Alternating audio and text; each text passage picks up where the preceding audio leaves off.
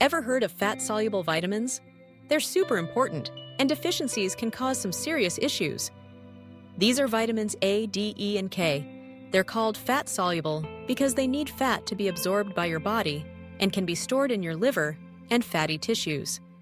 First up, vitamin A. Low levels can lead to night blindness and other vision problems. You might also experience dry, rough skin and a weakened immune system. Next, vitamin D, often called the sunshine vitamin.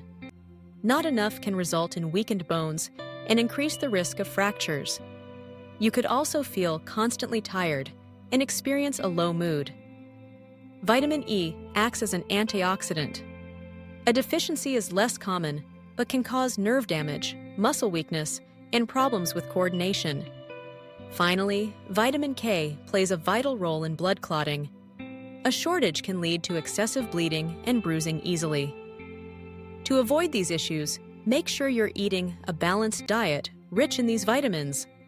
If you're concerned about any deficiencies, always chat with your doctor. Stay healthy and don't forget to like and subscribe for more health tips.